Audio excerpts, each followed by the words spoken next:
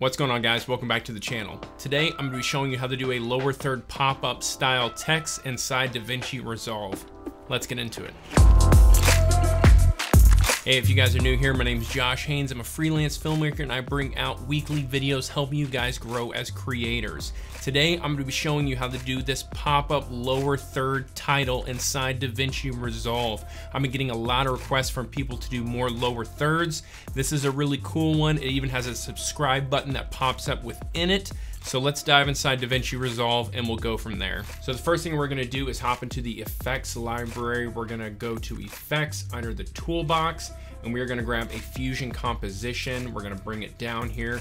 Again, I like to make mine I don't know, a little bit longer than the standard five seconds. You're also inside the media pool, let me show you, you're going to need some kind of image that is your image. So when it pops up, it'll have your face and it'll look a little more professional, kind of like what it looks like on a YouTube channel page. It's kind of that's what we're going for in this. So if you don't have that, track it down, look on your computer, find a profile picture of yours that you're wanting to use. It's okay if it's not a circle. I'm gonna show you how to do that here in just a minute, but you definitely are gonna need that. Everything else we can create inside Fusion within DaVinci Resolve, but you are gonna need that profile picture. Once we're inside Fusion, we are gonna go ahead and create a background. The first thing we're gonna do is hit background right here. I'm gonna connect that to our media out. Me make this a little bit bigger so we can see. And really you have any choice to do the background, any color you want. I kind of just went with like a grayish black and I wound up turning the alpha down to probably about half, so around 5%. I think I dragged that a little bit lower. That way it pops up and it's still easy to read things, but it's transparent so it's not like a full black bar is coming across your video. The next thing I'm gonna do is with the background selected is I'm gonna add a transform node. I'm actually gonna bring this down to the size that I'm thinking. We'll do right about there, should be good.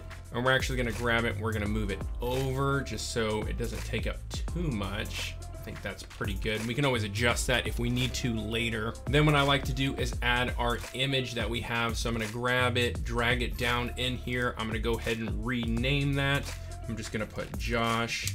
So I know that that's my profile picture. I'm gonna hit shift and the mouse at the same time, drag it in, bring it up over here. And what I'm gonna do is with the profile picture selected, I'm gonna hit this ellipse tool. You can of course hit shift spacebar to bring it up just the same, but there are those shortcuts right there underneath the video player that I use quite frequently. So if you're not using those, I suggest using those. You will save a lot of time. Inside the ellipse, you can go to the inspector, ellipse one, and you can mess with a whole bunch of different things. Mine, it's actually working just fine. I'm just gonna make the border width as wide as it will go. You can actually move it around, so if it's on your image and you need to move it way over here and get your face in it, whatever it is, you can do all that just to get it perfectly aligned, but for me, it works just fine making the border width as wide as it'll go. Then what we're gonna do is with the picture node selected, I'm gonna hit a transform node. Make sure you add the transform node by selecting the profile picture node first, then hitting a, a transform node. If you hit the ellipse and add a transform, it's gonna mess everything up and it's not gonna work correctly. So we kind of did it in the proper order that it should be. With the transform node selected, we can now size it down and it doesn't move anything at all. I can grab these or I can grab it from the side. We can drag it over here and get it kind of where we want. I think that should work just fine right about there. Kind of digging that, so I'm gonna slide that over here and that works fine just the same right about there. Now what we need to do is start adding some text. So what I'm gonna do is I'm gonna hit text right here or shift spacebar yet again. I'm gonna hold shift and drop it in just the same. Text is in here. I'm gonna go ahead and name this first one. We're just gonna name it Josh Hanes. I'm gonna find a text that I like. I think that one looks pretty good. You can make the size a little bit bigger if you want. I'm gonna mess with the tracking just a little bit I think that might be just a little too much. That's fine. Then what I like to do is I'm actually gonna go to the paint node and I am going to make it just an outline. That's kind of my go-to thing. If I've got two texts and I want them to be pretty basic, but they need to also have a flair to it. Normally I make one an outline and one not an outline, and it kind of just breaks up the monotonous of having two texts that are pretty close. Then what I'm gonna do is click on the text. I'm gonna add a transform node just the same. I like to keep all my stuff in transform nodes when I can. It makes it so much easier when we add keyframes later. I'm gonna add that right about there. I think should look pretty good. We can mess with that here in a second. We're gonna add another text. We're gonna hit shift again with the mouse, drag it in there. And in this one, we're gonna type in filmmaker and photographer. I'm gonna highlight that. I'm gonna change that to just a light so it's a lot smaller. I'm gonna size that down a little bit, track it out just a little bit. Do the same thing. We are gonna add a transform node on that. I'm gonna bring that down over here, size it down. Let's move it kind of over in place. It's still too big, so we'll size it down a little more. Need it a little bit smaller. That should be pretty good. Go right about there.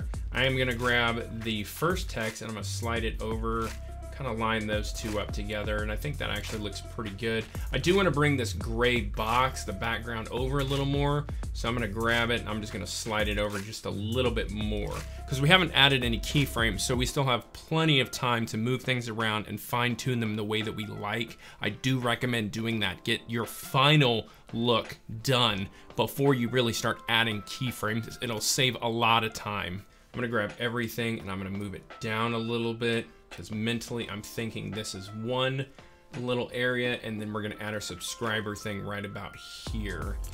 Let's go ahead and start keyframing things. So what I like to do is start with the image first.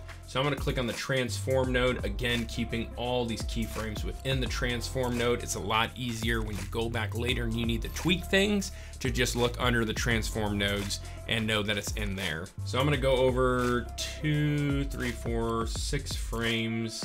I think that's pretty good. And I am going to add a keyframe there on size. I'm gonna go over two frames.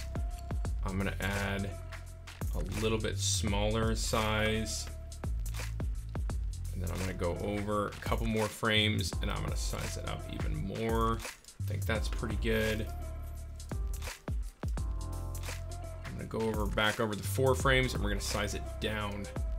That way it kind of has got this pop that when it goes on there, it kind of just pops on the screen and it kind of bounces a little bit instead of just being a hard hit. It looks a little better in my opinion. Then what we're gonna do is we're gonna start working on the actual text itself. What we're gonna do is we're gonna click on the text and we're gonna add a rectangle and we are gonna go ahead and just drag it all the way over here. We're gonna add a keyframe on the center X and Y. And we're gonna go over a couple frames there should be pretty good. And we'll drag that there. Watch that through. There's weird quirks into adding certain nodes into a node tree. Trust me, follow these steps because a lot of people get snagged up on things. If I added the rectangle to the transform node on a title, it's going to mess it up. Like if I click the transform node right now and I add a rectangle to it, you can see it disappears and you're like, oh, well, it's just up at the top. But no, if I drag this down, it's somehow duplicated both of those and it's a weird cork. I'm not really sure why it does it, but all I know is that is not what we want. So we're gonna add it to the text itself. That is just a little snag and little hiccup I saw with Inside Resolve. I don't know if it's a glitch or if it's just something I'm unaware of why it's doing that, but that's not what we need. So make sure your rectangle is attached to the text. What we're gonna do with this one is we're gonna go back until we see that there. We'll do about halfway, should be good. We'll add a keyframe on center. We'll go over a couple. We'll do it right there. Add another keyframe. We'll go back to the first one and we're gonna drag it the opposite direction. That way when it plays, it's kind of the opposite things are happening. The next thing I'm gonna do is click on the 80 keyframe. I'm gonna click on text number one. I'm gonna make sure I'm under the paint tab under the inspector. I'm gonna add a keyframe on 80 and 85. I'm gonna turn it down all the way. I'm gonna go to text number two. We're gonna add a keyframe on 85, go back to 80, add another keyframe, go back to 85, and we can turn it down. And that of course gives us more than enough time to add the subscribe button to pop up after the name and whatever you want underneath. Uh, you could just leave this the way you want it. You don't have to have that subscribe button pop up. It's just kind of completes the look eh, for what I'm going for. But if you don't want that subscribe button to pop up, by all means make this a little bit longer or shorter and do just exactly that. You can even reanimate this little profile picture to pop back off sooner and you've basically got just a simple lower third that pops up with your name and what your occupation is or whatever you want to put on the bottom half. I, however, want to add a subscribe button, so what I'm going to do is I'm going to go to right here. We'll go to 86, 87 frames. I think that's what that's at. We're gonna add a background node again. And what we're gonna do is on this one, we're gonna make it red. Let me go ahead and attach that so we can see what's going on. I'm gonna add a rectangle on this one. I'm gonna make the width smaller, the height smaller. that's pretty good. This corner radius, we can actually curve the corners a little bit. Don't get too crazy with it. I think that's pretty good. I might jump back into the background node and maybe make that just a little bit brighter. I think that looks okay. Then I'm gonna click on the background node and I am going to add a transform node so I can move this where I need to. We'll bring it over here. I think that actually wound up being just about perfect size. Maybe drag it over just a little bit more. That's pretty good right there. Then we need to add our subscribe text. So what we're gonna do is we're gonna add another text, hold shift and in at the same time, drag it in, bring this up here. I think that's pretty good. We'll size that down just a little bit. I'm gonna go ahead and add a transform node to that just because that's what I like to do. I'm gonna bring this down here, drag it over, That nice and centered up.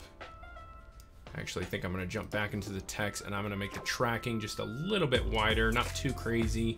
Jump back and transform, bring it down, kind of center that up just a little bit. I think that looks pretty good. We can tweak with that a little bit more, but I'm, I'm okay with the way that's looking right now.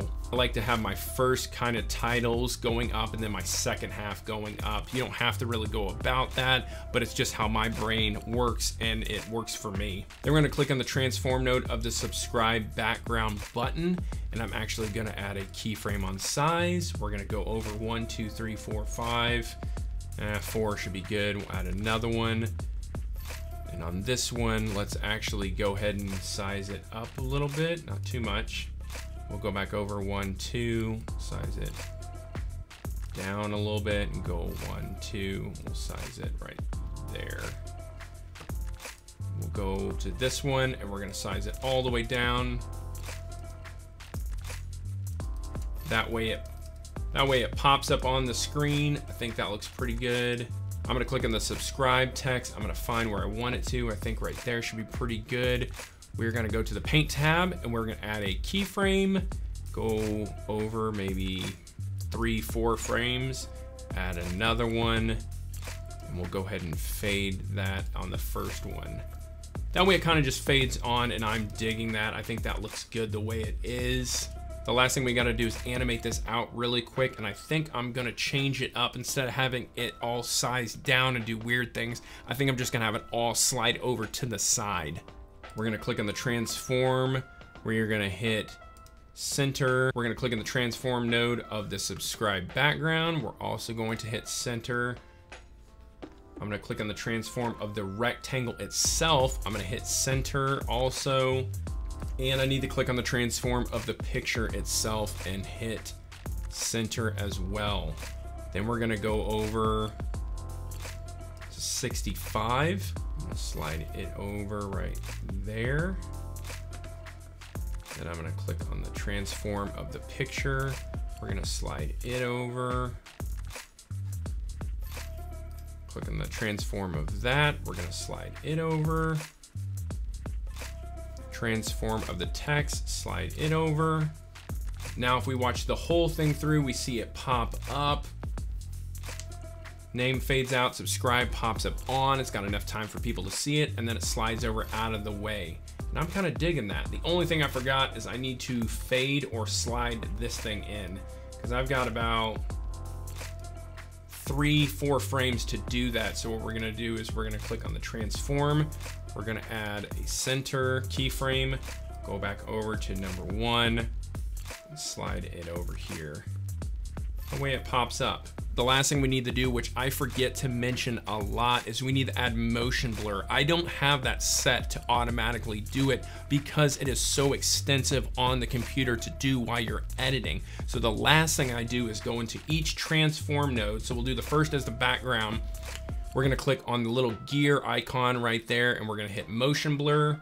We're gonna go to the transform of this one, go to the gear icon, hit motion blur, same thing on all of these. We're gonna hit motion blur. This is exactly why I like to do everything inside those transform nodes because I know the keyframes are there, the blurs there, everything that I'm wanting to really do on keyframe or movement is within inside those transform nodes. It's a lot easier to keep all that in one place. Play that all the way through, see if you like it. I actually think that looks really good. Well, there you go, guys. That's how you create a lower third title and subscribe button. Give me a thumbs up if you like this video and drop a comment below. Let me know some other tutorials you want to see in the future or if you've done something quite like this, but maybe you've changed it. I'd love to hear your thoughts. Hit that subscribe button if you haven't already with the bell notification on so you don't miss any of my new videos. You guys are amazing. I'm the Iron Giant. I'm out. Peace.